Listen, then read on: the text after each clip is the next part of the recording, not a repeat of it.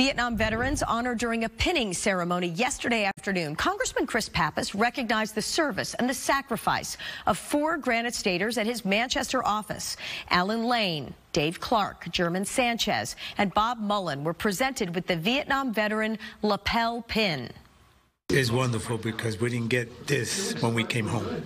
So right now they recognize us and they, you know, they feel for us now, you know, and that's a good thing. Congressman Pappas says it's important to give these veterans the thanks and recognition they deserve.